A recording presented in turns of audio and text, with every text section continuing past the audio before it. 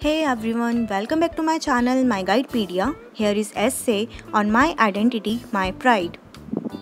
When I think of my identity, I think about my country, my village, my family, and my culture. I am an Indian soldier. Some people are born great, some people achieve greatness by years of hard work and dedication.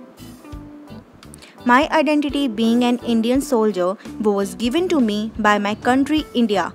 I have had the feeling of patriotism since my childhood. I would play the role of a soldier in my school's Republic Day function. I understand my roots and will never forget the place that gave me an identity.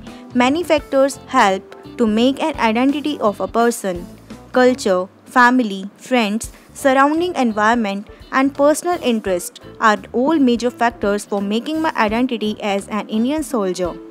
I was born in the village of Haryana in a Hindu Kshatriya family. Kshatriya is known as a warrior in our history. Bravery is in my blood. My parents, who are also proud of India, are farmers. My family also encouraged and supported me to fulfill my dream to be an aspiring soldier.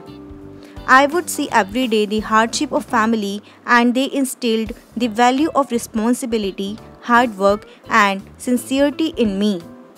I feel proud to be an Indian, India my country that is known for its unity in diversity. People of different cultures and religions live in India in unity and celebrate their festivals together.